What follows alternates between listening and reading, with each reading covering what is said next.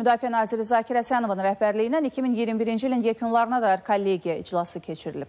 Müdafiə Nazirinin birinci mavini baş qərərgah rəisi Kərim Vəliyev qeyd edib ki, hesabat dövründə Azərbaycan ordusunda müxtəlif növ hərbi təlimlər, döyüş hazırlığı məşğəlləri keçirilib, qoşunların döyüş qabiliyyəti artırılıb, şəxsi heyətin peşəkarlıq səviyyəsi yüksəlib. Azad edilmiş ərazilərdə dislokasiya olunan hərbi hissələrdə quruculuq işləri aparılıb, yeni hərbi obyektlər istifadəyə verilib. Baş qərərgah və ümumilikdə Müdafiə Nazirliyinin mərkəzi aparatında qoşun növləri qərərgahlarında təşkilati struktur dəyişikliklər edilib. Müdafiə naziri Zakir Əsənov 2021-ci ildə xidməti döyüş hazırlığının yekunları və 2022-ci tədris ilində qarşıda duran əsas vəzifələr barədə çıxış edib. Qeyd edib ki, 2021-ci ildə Azərbaycan ordusunun xidməti döyüş fəaliyyətinin təhlili qarşıya qoyulan bütün tapşırıqların tam həcmdə yerinə yetirildiyini göstərir.